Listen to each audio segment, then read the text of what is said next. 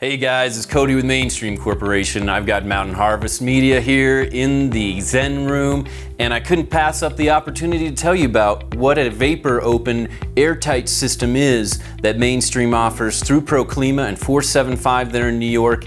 And it basically starts with sealing up all of the joints and cracks in your shear wall, which every building really has a shear wall, whether it's DensGlass, OSB, CDX plywood. And the system components they need to be able to breathe out just like your body does. You don't want to be running in a rain jacket or anything like that. You're sweating and things like that. Our buildings do that themselves. So you want to have vapor open airtight assemblies. So this offering from Proclima, which is the Tescon Vana tapes, a six inch wide band at the bottom, Intello intelligent vapor membrane on the inside of your wall that keeps your breath out of the wall, that keeps anything you're doing inside out of the wall, and that keeps everything in the wall in the wall. So any dust is not migrating out into the area. So we seal the wood wall to the concrete with Proclima vapor open tapes.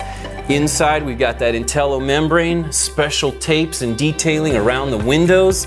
We'll rotate it around here. You can see that Intello up top here coming down. We've got the Zehnder ventilation tube, which fits perfectly in a 2x4 wall, easy access, easy to clean. We've got dense pack cellulose, which is our preferred insulation level, especially with all these Amazon boxes getting shipped. Let's recycle them, turn them into cellulose. You'll store that carbon there. And we've got the exterior Solitex membrane, which is also a vapor open. So weather can't get in, water can't get in, but if it rains or snows on your job site and they cover up the walls as they often do, your Tyvek's not going to dry out. Any of those plastic membranes, they don't dry out.